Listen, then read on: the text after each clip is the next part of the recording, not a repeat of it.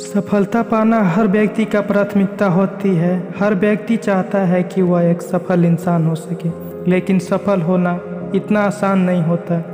जितना घिसोगे, उतना ही ज़्यादा चमकोगे। जितना कठिन संघर्ष होगा, जीत उतनी ही शानदार होगी। किसी ने खूब कहा है अवसर की प्रतीक्षा मत करो। आज जो है, वही आपके लिए सर्वोत्तम है। मेहनत की चाबी से ही खुलता है जीवन का ताला। अभी से करना शुरू कर दो, जो आप करना चाहते हो, ये आप पे निर्भर करता है। आप दिन के अनुसार चलते हो, या दिन आपके अनुसार चलता है। अपनी काबिलियत बस आपको पता है। अगला तो मज़े उड़ाएगा। सौभाग्य उसी को मिलती है, जिसने अपने आप को काबिलियत बनाया।